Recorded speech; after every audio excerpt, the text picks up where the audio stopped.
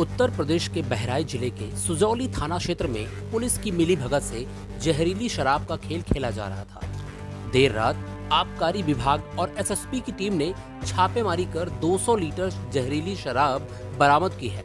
साथ ही अवैध शराब कारोबारियों से साठ गांठ के आरोप में एसएसपी ने दो सिपाहियों को लाइन हाजिर भी कर दिया है।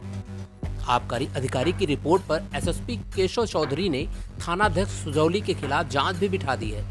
जहरीली शराब की तस्करी के खेल में खुलासे से महकमे में हड़कम मच गया। इस दौरान तस्कर मौके से भागने में सफल रहे। आबकारी विभाग और एसएसबी की टीम की छापेमारी में खुलासा हुआ है कि कीटनाशक दवाओं से बनाई गई जहरीली शराब गिरिजा बैराज के रास्ते थाना सुजौली क्षेत्र में खपाई जाती थी।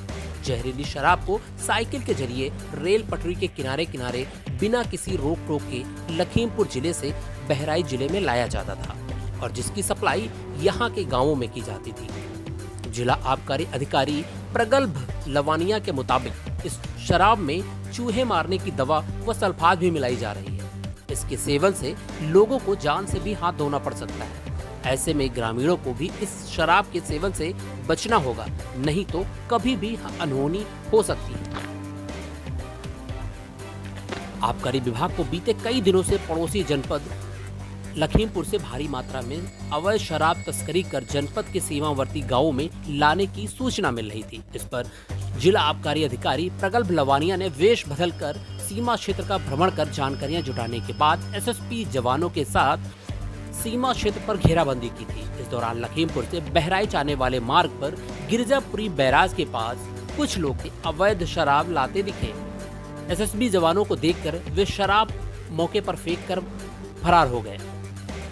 एसएसबी जवानों ने 200 लीटर शराब बरामद की है। जिला आबकारी अधिकारी प्रगल्भ लवानिया ने बताया, आबकारी विभाग ने दो सप्ताह पूर्व भी 100 लीटर अवैध शराब इसी स्थान पर बरामद की थी।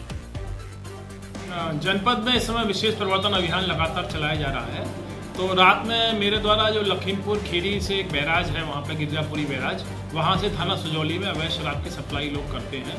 तो उसके लिए मेरे द्वारा एसएसबी के सहयोग से कल दबिश का कार्रवाई की गई है। तो जो बैराज से रेल की पटरी के सहारे सहारे ये लोग सुजौली क्षेत्र के गाँव में जाते हैं, वहाँ पर अवैध सप्लाई करते हैं। तो मेरे द्वारा वहाँ पर पकड़ा गया है, वहाँ लगभग दो सौ लीटर अवैध शराब कच्ची बरामद की गई है। उस अवैध शराब को उसमें यूरिया नौसादर और ये पाउडर वगैरह मिला करके उसको बनाते हैं तो वो शराब जहरीली भी हो सकती है।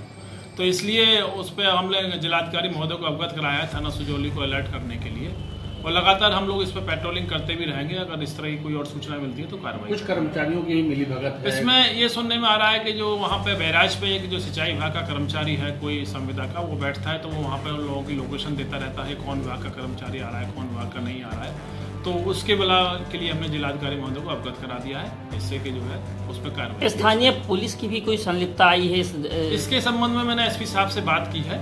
एसपी साहब को मैंने बताया है कि इस तरह से तस्करी लगातार हो रही है। तो उन्होंने जो है मुझे आश्वासन दिया है कि मैं जो है जल्दी इसको देखता बहराइच से राजीव शर्मा की रिपोर्ट।